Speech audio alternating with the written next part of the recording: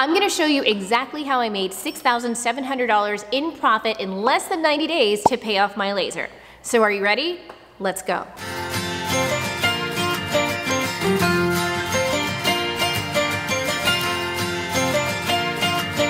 Hey there, I'm Emily, otherwise known as That Mom with a Laser and the brand ambassador for Aeon Laser USA, and I have helped thousands of people on their laser journey. No kidding. It took me eight months working as a stay-at-home mom part-time with three little ones at home, ages six months, two years, and four years, without any experience on the onset of a pandemic to pay off my laser. If I had no idea what I was doing, which I didn't, and I could pay off my laser in less than a year, could I possibly do it in a shorter time frame and create a recipe, if you will, to show you how to do it too? Yes, I can, and I did. So I set out to pay off my second laser, my Aeon Mira 5, in a short time frame. And I wanted to do this with three things in mind because ideally the point is to teach you guys how to do it too. One, could somebody who was just getting started and didn't know anything about their laser, was just getting started in this whole journey, copy what I do?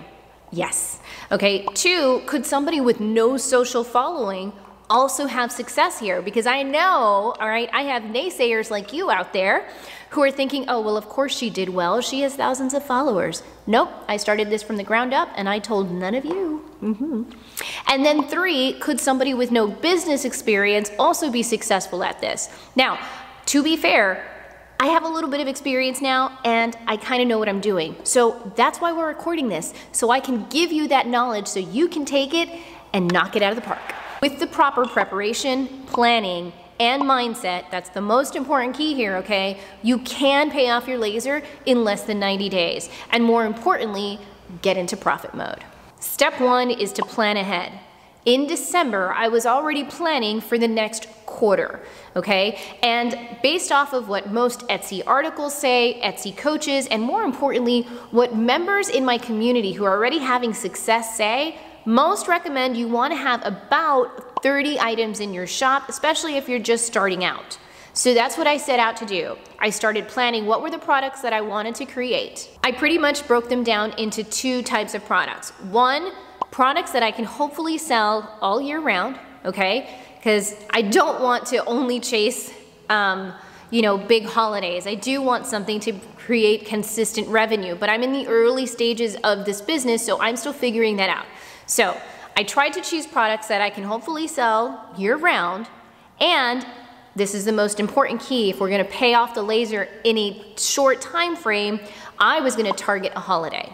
In this scenario, it was Easter. All right, so let's pop into my Etsy shop, even though, you know, that now this is already past. I'm looking back at the past to kind of review everything with you. Let's look at the products that I ended up putting into the shop. Okay, so right now you see me updating things because now uh, teacher appreciation is coming up and so is Mother's Day. So I'm slowly but surely adding new listings okay? But I still have up here the listings that I'm trying to see how well they'll do year round.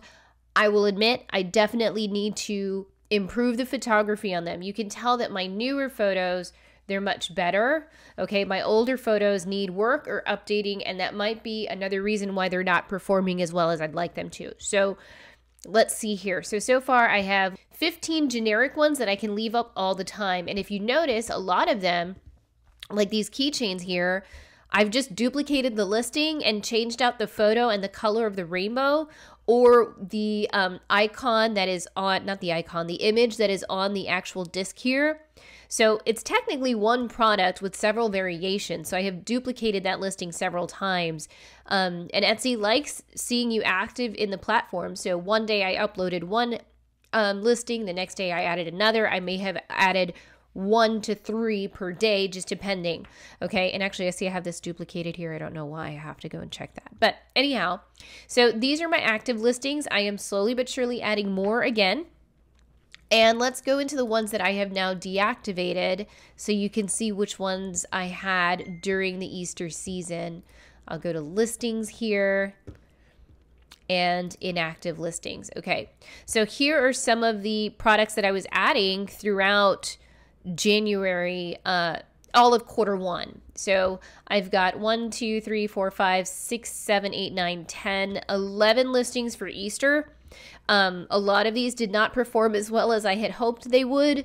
And that's okay. It just means next year I'm going to have to make them better. Like my tags didn't do well at all. I'm going to have to come up with something cuter or better. You know, my best sellers by far, as you guys know, were the Easter baskets. Okay. And then I had some um, uh, St. Patrick's Day and Valentine's things, they didn't perform well at all. But my point is, I kept filling up the shop because eventually something would take, right? So here I have 15 listings down plus the 15 listings that I have that I've kept that are generic, I have about a total of 30 listings, which is consistent with what I'm sharing with you and what um, you know, Etsy tells you over and over again 20 to 30 listings in the shop. I'm working my way back up there as I add the new listings for Mother's Day and uh, Teacher Appreciation Week. Did I know which products would sell? No, I'm not like, you know, a psychic. I can't see into the future and I'm just starting out, okay? But did I have a hunch? Absolutely. I'm willing to bet that you have hundreds of saved photos, screenshots, websites, all these different places, you know, full of things that have given you inspiration of things that you want to make. Everybody does that, okay? So I pretty much used you know what's available to me. I go onto social media and I do a search for gifts for Easter and see what comes up. TikTok will show you what people are buying. So will Instagram. I mean, go to target.com. They pay thousands of dollars for market research. What kind of things are they putting in their dollar spot or what kind of Easter items were they selling? It's that simple. Get inspiration from there and then work on developing a product that you actually want to sell, okay? We all have different styles, and that's how your brand is over time going to reveal itself to you if you don't already have a clear vision. Step two, decide what website you're gonna use to sell your products. Now, for the purpose of this experiment, I intentionally chose Etsy. Hear me out, okay? I am not a one website kind of person at all. Throughout the rest of this year, you are gonna see me tackle Amazon Handmade, having my own website, um, wholesaling. I'm gonna do it all, okay? Because there are plenty of different ways to make money here. And I want a piece of everybody's traffic. I want a piece of Amazon's customer base. I want to save money for my own customer base that I develop on my own, and I want a piece of Etsy's traffic, okay? My suggestion is to consider Etsy. Why? It is the easiest for, in my opinion, for a brand new person to get started with. It's easy to make a listing, okay? Creating a listing on other sites is a little more challenging. Um, and they don't charge you until somebody actually orders something. So for many people, if you are tight on money and spending $30 a month on a Shopify account is intimidating to you, Etsy might be a better route. And three, more importantly, if you don't know how to market your product, if you don't have any business experience, and you don't have a network, you need a customer base to sell your products to. Why not tap into Etsy's customer base?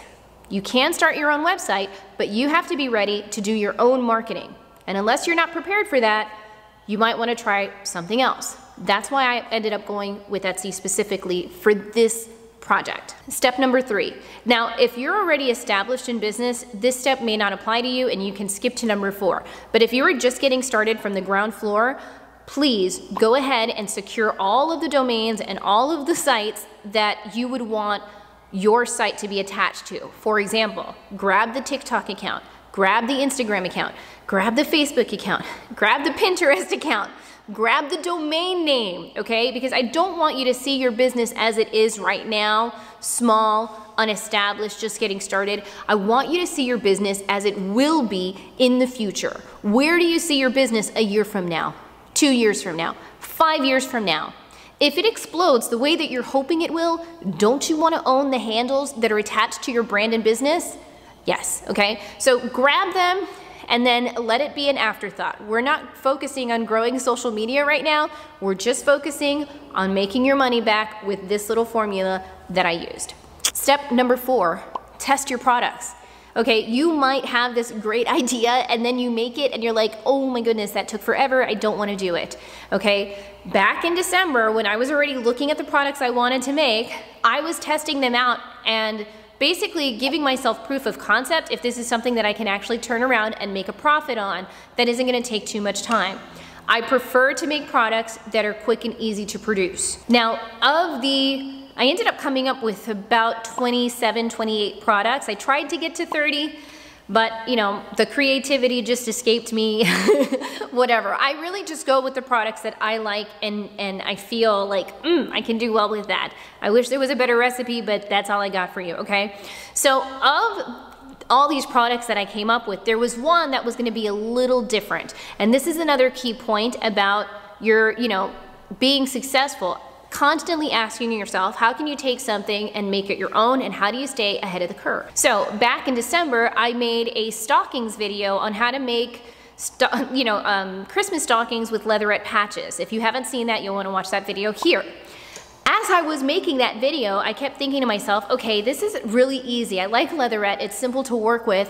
What is something else that I can do with an upcoming holiday that you know, I can create that would sell. And that's where this idea came to me. I thought, okay, well, let me try, um, let me try cutting leatherette. And then I found that it already had adhesive, adhesive backing. That's if you go to JDS Industries and test it out. So first I tried to find a basket that I liked. And I could have sourced them from um, like blanks suppliers, like the crazy laser dad. Actually, he does have an Easter basket that he does, you know, use. So if you watch this Next Easter, you can go there. Uh, Sunshine Laser Supplies, they didn't have any baskets. I wasn't finding what I was looking for, so I had to do a little more digging. So first I went on to Amazon, okay, and I found a basket that I liked. And I didn't have to spend hundreds of dollars because I could buy like three at a time. So I ordered them and I liked them a lot. I tested my proof of concept here with the leatherette. It was relatively easy to produce and make. Now, now came the gamble do I order in bulk from overseas and how do I find it overseas? Well, I got lucky. I did use Alibaba.com. I searched for the baskets and then I negotiated back and forth with different suppliers until I found a price point that I was happy with and then I took a risk. And this is also part of being an entrepreneur. I wish I could give you every recipe here, but part of building your business is gonna have some risk, you know, rolled into it. So I ordered 200 praying that I wouldn't get scammed and that the product would be just like the one that I ordered off of Amazon. Thankfully, everything went smoothly and I ended up selling out of those 200 baskets later on. Ended up having to order, rush order even more and in total sold 400 baskets. Step five, stage your photos to the very best of your ability. Your photos will make all the difference. Let me give you an example. At one point, I was getting tired of making listings and taking photos, so I got lazy and I put up a mediocre photo up on my listing. And then several days went by and nobody bought that product, which I happen to think is really cute. So I was kind of surprised that nobody had ordered one. But I knew why, okay? I was lazy and I, I needed to retake the photo. So here's an example. This is the photo I took of a dog sign, right? And you can tell it's pathetic. and then I actually gave it some effort. I grabbed my dog, who happens to be freaking adorable, okay? And I took a new photo with my dog in the photo. If you can get lifestyle photos, that's, that's a plus, okay? Um, I kid you not, that same day that I changed the photo, it sold. So that just goes to show you may have a good product, but if you don't have it staged properly, it's not gonna move okay? Also note how the lighting in the second photo is way better. That's because I used an app called Lightroom to help brighten the lighting because the lighting in my room is horrible, okay? And that's gonna help it pop a little bit. Look at the difference. This is the photo before the lighting is improved and this is the photo after the lighting is improved. So go the extra mile. If you're not in a position to hire a professional photographer, which most of us are not, you have to knock it out of the park to the best of your ability, okay? Another thing that I did that I love was totally organic. Like nobody told me to do it. I just did it and it, it proved to be helpful with my best-selling item, okay, for this quarter. I duplicated the listing and I changed the thumbnail.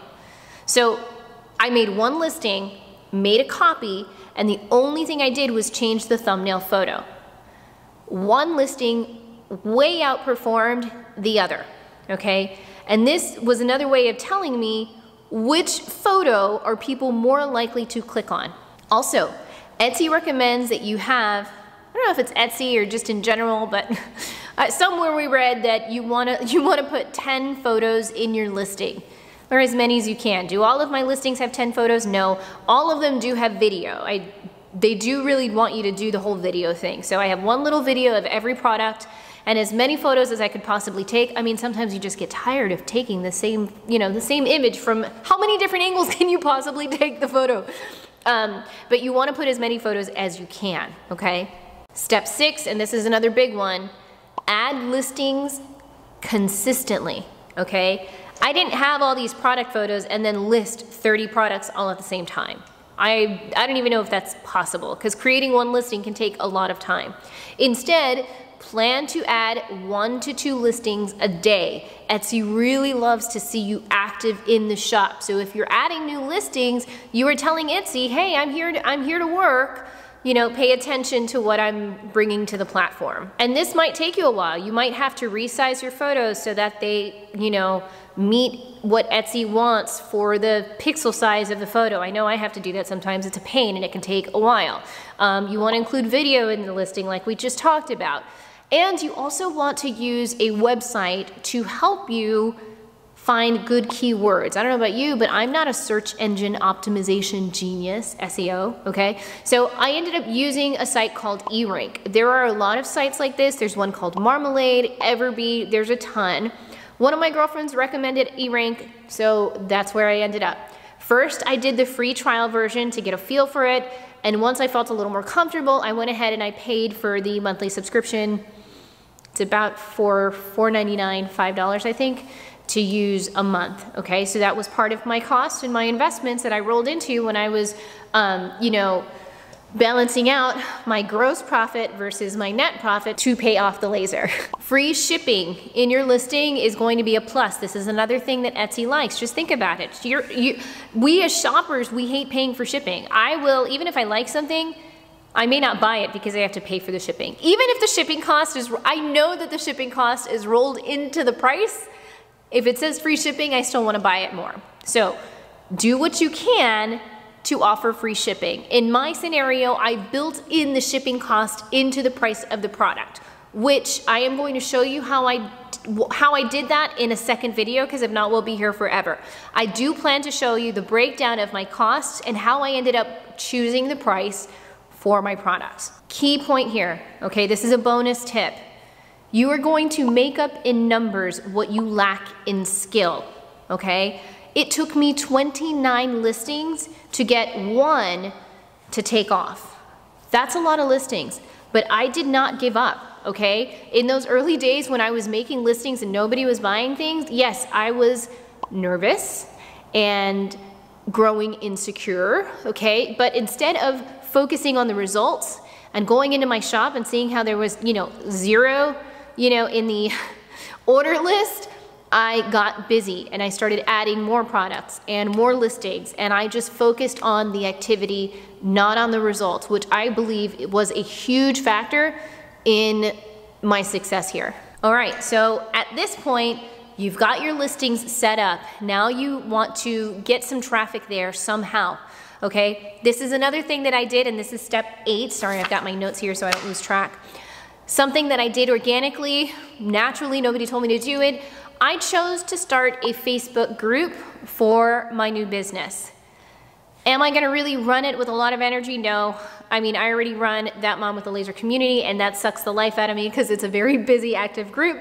Um, but I did invite my friends to visit my shop. I didn't ask them to buy anything, but I wanted people to heart the shop and heart the items in the shop because this is also something that Etsy wants to see. They want to see that people are browsing the items in your shop. But believe me, Etsy wants you to sell, okay? They want the money. They want you to come up with a product that is gonna get people to make a purchase, okay? So you can easily ask your friends, say, hey, I just started this new shop or I just listed these new items in my shops. Can you do me a favor and just heart the item and like the shop so that Etsy sees that people are taking a look? It's not that hard for you to ask for a little bit of help, okay? Another thing that I did here, um, I actually, in that Facebook group, I offered a special friends and family discount for the new products. I said, hey, I, I am expecting to get really busy and because you're part of my exclusive price, private Facebook group, I am gonna give you a friends and family discount for the next two weeks on anything in the shop. That helped me drive a little bit of traffic to get a few orders initially. These are all things that Etsy likes and wants to see, okay? Even if they went and just put the item in their cart and didn't purchase it, Again, this is something that tells Etsy, okay, people are checking out this item, there's some interest here, maybe we should push it out more and see what happens. Oops, I had my notes in front of me and I skipped it. So the last one was step eight. I skipped step seven, but I guess we can do it this way, it doesn't matter. the next step in this series is to consider paying for ads. Once you have people in the shop hearting the items, putting it in their cart. Well, I, I, don't know at what point I decided to just give it a boost, but once I got a little, a few sales, I was like, okay, I'm gonna, I'm gonna test out ads, and it did help. How much it helped, I'm not sure yet, because when I look at my analytics, I still, I mean, I sold way more just from, I guess, a perfect storm, you know, the right keywords, the right photo, the right product, the right timing, than I did for, with paying for ads, but the ads was not, not worth it. I hope that makes sense. So I chose to do $5 a day. And that doesn't mean you get charged $5 a day. You get charged, you get charged up to $5 a day if and only if somebody actually clicks on your listing. So um, that is something that you might want to test. I did test paying for ads on Facebook as well as TikTok.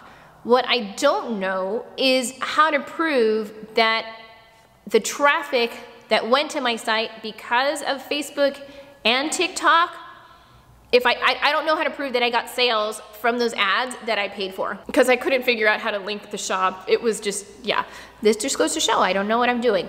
I tested it out. I couldn't prove whether or not um, it helped, but I did see significant jumps. For example, on the one TikTok ad that I had, um, I got several thousand views on that, whereas everything else just had a couple hundred views. Did it drive traffic to me? Maybe.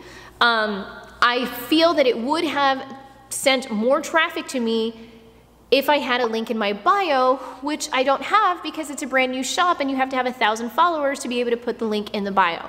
I think if somebody can click on a link, they are way more likely to be taken to your site than if they have to like do the work to get to the site, right? So I turned those off pretty quickly. I, I chose not to spend too much money and time there. I just chose to stay in my wheelhouse of Etsy. I paid for ads in Etsy and I did my best to do all the things that I've already laid out for you. And the last one is step nine, be quick to respond to anything and everything that comes to your shop. If somebody asks a question, um, I think the window is considered 24 hours to get back to them, but I don't know. I just, I responded within minutes if I could. Um, nobody nobody didn't get a response unless in like within 30 minutes everybody had a response if they had a question about the product um, I was just on top of it. And Etsy will tell you in the app, they're like, congratulations, you did a good job. You quick responses are, you know, whatever, good. So message anybody and everybody that asks you a question and get back to them quickly. We also messaged everybody that ordered, which this is over the top and I don't anticipate doing this in the future, but the hustle is real right now. This is a brand new shop. I've got to give it everything I got, okay? So every time somebody ordered, they were messaged, thank you for your order. Um, your order is, you know, whatever, I don't know what we said, but basically we just said, thank you for the order. It, we are gonna begin production and it'll be shipped out to you soon. And then when the order shipped, we also messaged them, messaged them to say, um, your order has shipped. If you are happy with the product, please leave us a review so that we can grow or something like that. Okay, Etsy likes all of this. They like seeing that we're connecting with the customers and, and getting active in the platform. They want to see activity. So stay as active in there as you possibly can. So my friends, that's how I did it, okay? And if, if you get anything from this, it's my hope that you can get the belief that it can be done. You don't have to be a big influencer. You don't have to know what you're doing. You just have to have a lot of grit and a really hard work ethic. Is it a lot of work? Sure. But you're not gonna make several thousand dollars if you're not willing to hustle. So if you've got the hustle in you, take what I've done here, apply it to you, and pay off that laser. I know you can. And with that, that's all I've got for you today, guys. I'll see you guys here soon over at That Mom with a Laser.